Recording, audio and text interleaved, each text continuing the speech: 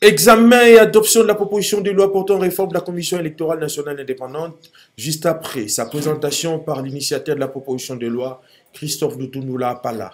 Une proposition de loi qui vise plusieurs innovations en vue d'opérer un changement au scrutin présidentiel législatif et provincial en République démocratique du Congo. Je pense que le, débat a été euh, centré essentiellement autour de la composition de la plénière de la CENI et autour aussi de la composition du bureau et le mécanisme de contrôle que je proposais, la commission permanente d'évaluation et de contrôle. Poser la loi, ça fait plus de deux ans.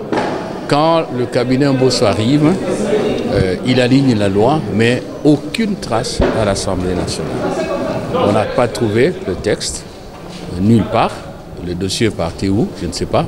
Même la proposition de loi électorale que nous avons déposé avec euh, le, G, 13 et moi-même, on ne voit plus ça.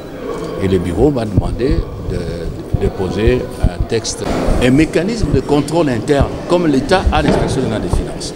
C'est un mécanisme qui permet à la CENI de s'auto-réguler, de s'auto-censurer, mais ça ne signifie pas que tout est lavé et qu'il n'y aura plus de problème. On atténue, on diminue, on met en place des mécanismes préventifs et même dissuasifs. Plusieurs députés à l'exception de l'honorable Gaston Kitenge, pense qu'il faut impulser une dynamique pour que les processus électoraux puissent prendre une autre allure pour des vraies élections en République démocratique du Congo. Article 23 bis, pratiquement, qui consiste en la composition des organes de la CENI. Et j'ai fait voir à l'Assemblée que nous ne devons pas minimiser la chose.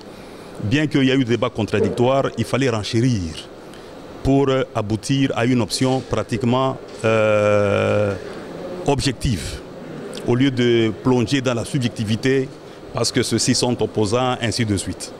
J'ai fait voir que, euh, disons que les organes d'une institution, ce sont des colonnes, des colonnes qui soutiennent l'institution.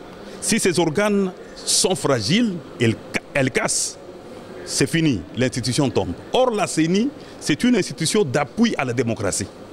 C'est une institution très importante. Lorsqu'elle ne marche pas, la démocratie ne marche pas, le développement non plus ne marche pas.